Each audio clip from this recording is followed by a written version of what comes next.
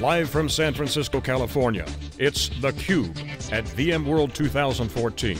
Brought to you by VMware, Cisco, EMC, HP, and Nutanix.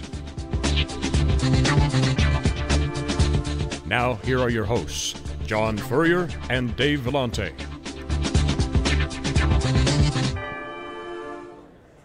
Welcome back, live in San Francisco, this is theCUBE, I'm John Furrier, Dave Vellante. Our next guest is uh, Ratmir Timashev, President and CEO of Veeam. Welcome to theCUBE. Thank you for um, having me. So I'm all like buzzed up right now, just talking to the venture capitalists. I love hearing their, uh, you know, decoding all their secrets and what they're investing in. Um, what do you think about the opportunity right now for entrepreneurs out there and, and around VMworld? What's your take around the mega trends circling and orbiting around VMworld this year? I think the opportunities are uh, expanding. The market is expanding, opportunities are expanding. Um, the need for new technologies that satisfy new business needs is growing. So I think that it's good to be in the VC business these days. So I didn't want to pimp up too much for Jerry Chen there because I'm a big fan of Greylock and uh, Jerry, and certainly Docker, we've been following Docker for a while. Um, I didn't want to give him too much press there because I wanted to spend more time on some of the VC conversations, but I want to ask you about Docker. I mean, one of the things about Docker that's been really interesting is the open community aspect of it, and, and, and it's really become a really sticky and viral aspect of the accelerated growth of Docker. How much is that a factor versus the containerization piece of it? I mean, the container's good, we've seen containers. What's your take on that? Because this is really a lever of growth right now. What's your take on that? We actually don't work uh, in that area much, so we, we focus more on the uh, modern data center, the uh, uh private cloud, as well as the public cloud. Do you think that's going to be a threat to like Microsoft um, and VMware? You think VMware is embracing it because of, of the love of the community, or is it part of a defensive move for these guys? What's your take on, because it's certainly going to impact, we heard Pete Linsky talk about Amazon, also Microsoft's got a huge cloud presence. Every, uh, every once in a while something comes up and everybody is talking about that uh, it's a threat to Microsoft or other large players, so it remains to be seen.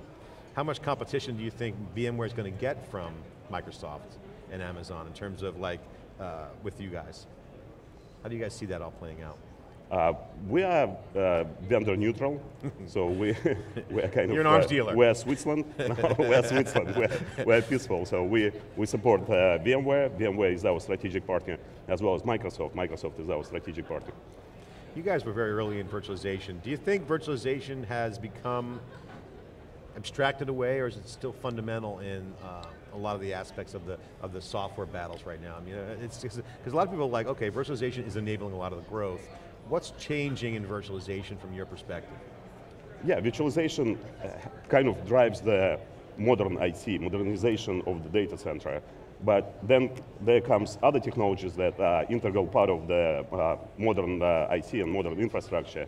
And that's where our company also plays a very important role because we provide a very important um, uh, technology block, uh, what we call availability block for the modern data center. So visualization is one of the uh, key enablers for the modern IT, but there are other new technologies such as uh, storage technologies, cloud technologies, and uh, um, uh, and uh, that drives the overall uh, uh, growth in modern IT environments. You know, I was talking to Pat, we were talking to Pat Gelsinger yesterday, and you know, a lot of vision, all laying it all out there, but when we press them for specifics, and it's funny, Dave and I always talk about this after, when we press them on specifics, it all comes back down to the blocking and tackling of enterprise features. Storage, backup and recovery, DR, I mean- HA. I mean, so, okay, this is really not headline worthy, hey, you know, backup and recovery has new advancements. I mean, that's not the front page of the Wall Street Journal for VMware, but really it comes back to every conversation that's fundamental.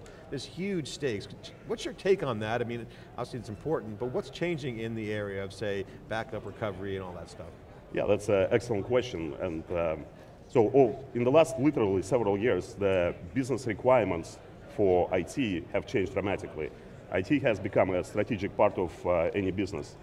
And uh, right now, everybody needs access to data from any place, any device, and 24 by 7.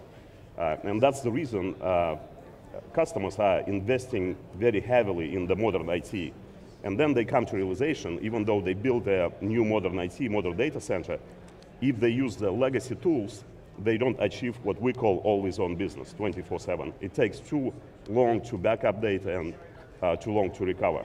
Uh, and that's where Veeam comes in. Veeam's, uh, Veeam is built on the new uh, modern technologies uh, to overcome these problems. Um, the problem of the, that it takes too long to recover data and application. Um, we call it availability. It's not just the yeah. backup, it's availability of your modern data center. And the way we define availability is um, ability to recover any application, not just the mission critical, quickly with the minimum data loss. So for Veeam, would you guys describe yourselves as an aspirin, a vitamin? We are not the aspirin, we are not the insurance. Backup, backup is the, the legacy backup is the insurance or aspirin. We are enabler, uh, enabler of the modern data center. So You're manufacturing aspirin and vitamins. that's, that's right. so I wonder if we could talk a little bit about, so back in 2010, the first year we did theCUBE at, at VMworld, uh, we had uh, Jim McNeil on. Uh, Jim McNeil at the time was uh, with FalconStor, former Cheyenne, you probably you know, know Jim a little bit. And he said, you know, backup is broken. Uh, and we went into sort of a long discussion, and many people have been talking about this. I mean, I personally have been talking about backup being broken for a long time. Long discussion about how, how virtualization stresses backup. And the concept was basically that you get all these extra resources that are being wasted, then your whole idea of virtualization is to improve utilization of the servers, but one of the applications that isn't underutilized as uh, server capacity is backup, right? So then when you consolidate, you know, you're starting missing your backup windows again. It's a big mess. That whole meme coincided with Veeam's ascendancy. Now you have spent your career sort of building software companies to simplify things, uh, whether it's in Windows environments and now sort of VMware.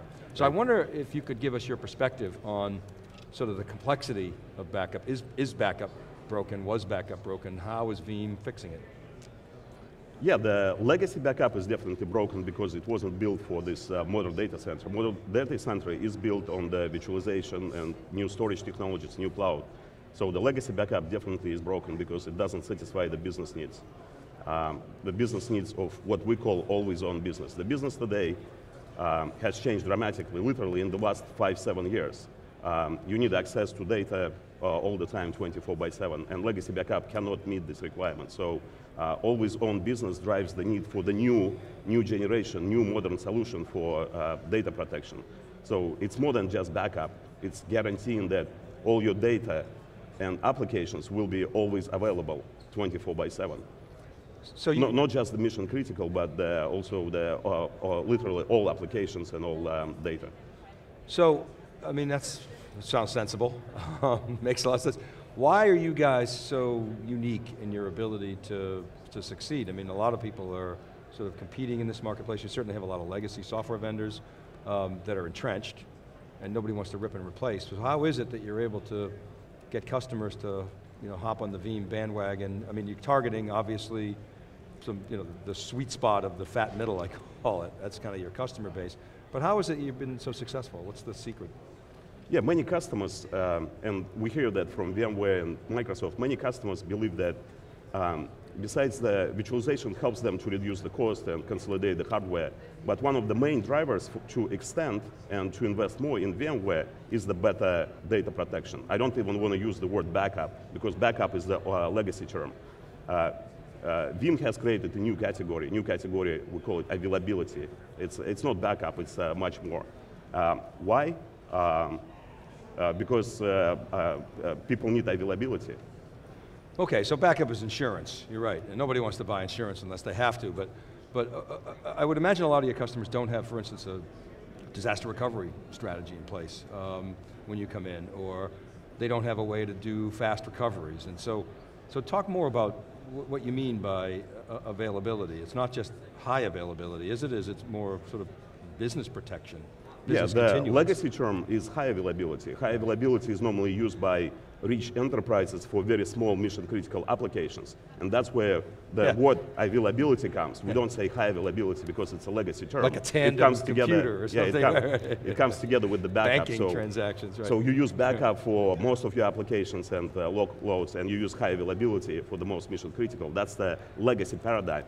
Now, Veeam can, uh, can afford to use uh, the availability uh, for all your applications. So I have to ask you, when uh, VMware came out with uh, VDP, which was, I guess, wasn't last year, right? It was two years ago, was it? It, it was two years ago. Yeah, two and years then ago. they followed up with VDPA. Yeah, so but when, when, when it announced VDP, which is essentially a free, you know, backup slash data protection capability, everybody said, up, Veeam screwed, right? That was the, the, the conventional wisdom.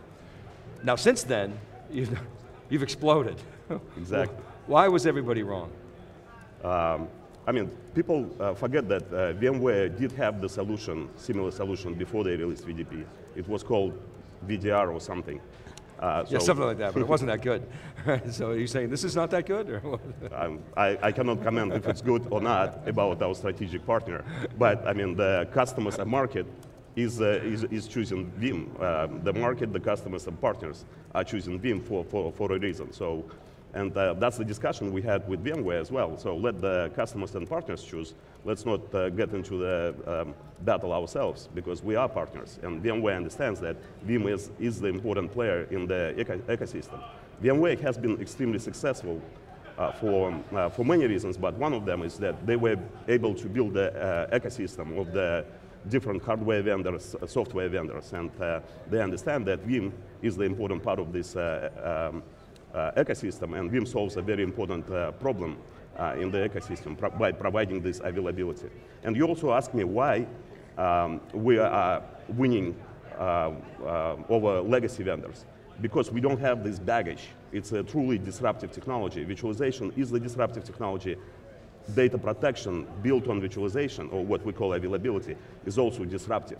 We don't have this legacy baggage uh, that uh, our competitors have. We don't have to support physical, we don't have to support uh, agents, all these old technologies that uh, your existing customers are using in the physical world if you are a legacy vendor, when you release a new version, you, you 80% of the time you have to think how you support your uh, installed base. And only 20% time uh, you are thinking about the visualization and modern technologies and uh, uh, providing the um, uh, better and faster recovery for new uh, modern data center.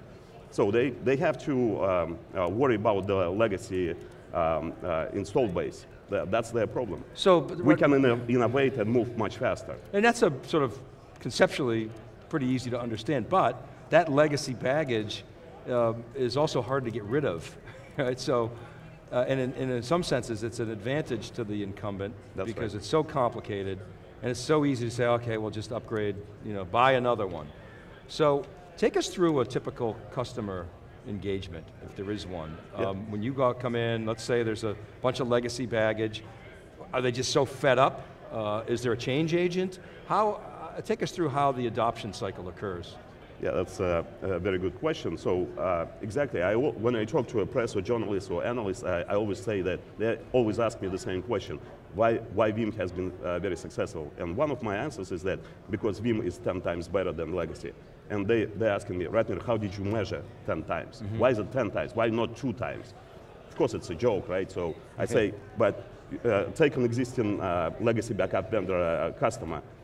It's an insurance. How often do you ch- change your insurance? Not often, right? So um, to change uh, the, the vendor for the data protection requires a major effort of um, uh, dealing with the new, establishing new relationship, purchasing new software, training, learning, uh, deploying, and so on. So you're progressive. yeah, you're they- progressive insurance. So the customers to choose to go through all this hassle Yeah. uh, because we are 10 times better. If we were only two times better, they would stick with their current existing uh, legacy vendor. Well, that's kind of the definition of disruptive, right? 10x, Exactly. right? All right, we got to leave it there. Thank you very much, Ratmir, for coming on. You guys have a big conference coming up soon, right? Ah, yes, uh, that's right. Yeah, October, uh, right? Why don't you yeah. Plug that a bit. VMworld uh, kind of um, um, made us think, uh, the success of VMworld made us think that we probably need to have our own uh, event. So VMworld started as the virtualization event, and now it progressed into modern IT event. So all the uh, vendors here are exhibiting um, new, uh, new, t- the best, the latest, and the uh, the the brightest, the best. Uh, um, and so we, we started thinking that we probably need to create our own data, data availability event where um, we, as well as our partners, uh, can exhibit um, the, the best and uh, the best uh, of their technologies to, to build uh, uh, the new availability. It's in Vegas, right? It's in Vegas in October. Right. Should bring the cube. Absolutely, we're All right. thinking about it. Veeam, hot company, private, privately held, right? That's right. And Great, Good great- stuff, thank you very much. Great stuff. You know, this we can do a whole segment on this modern data center. We got the hook here for our next guest. Modern, the modern era is upon us. Huge opportunities, transformation. HP calls it new style of IT. Pat Gelsinger calls it new brave world of IT. Uh, it's new, it's uh, happening, so congratulations on your success. President and CEO of Veeam. We'll be right back with our next guest after this Thank short you. break.